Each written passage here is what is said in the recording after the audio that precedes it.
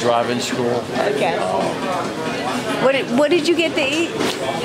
I got the, the original Grand Slam scrambled. So uh, I think you need to go to Mike's driving school. It's right here. right here, Mike's driving school. 856-728-2332. Otherwise, uh, I mean, we got here on a prayer. All right.